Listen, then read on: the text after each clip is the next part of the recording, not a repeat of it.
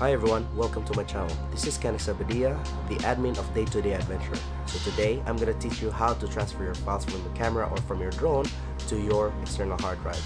So what you're gonna need is your files, which are from your SD card, your external hard drive, your laptop, and your, of course, the card reader.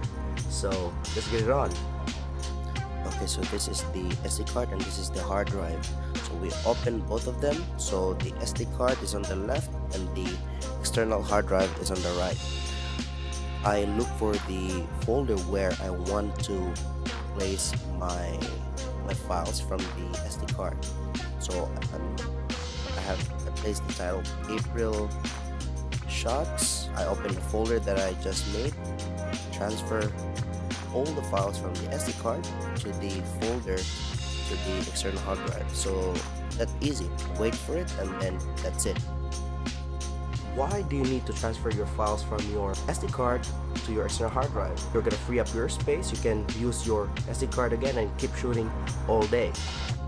And guys, thank you so much. Please subscribe to my channel and check out my Instagram at Day to Day Adventure and my personal account at Kennex See you there.